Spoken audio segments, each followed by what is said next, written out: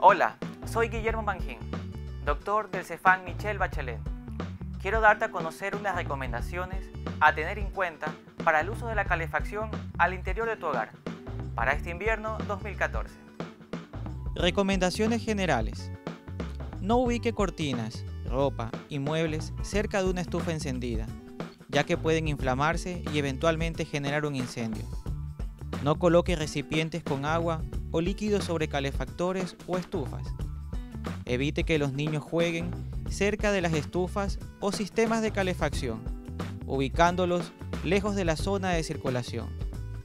Nunca deje que los niños lleven artefactos eléctricos al baño, como calefactores u otros de este tipo. En caso que utilice estufas eléctricas, contar con un calefactor que posea termostato para que se apague automáticamente cuando se logre la temperatura deseada. Revisar que los enchufes del hogar estén en buenas condiciones y no sobrecargados. Evitar los lugares húmedos.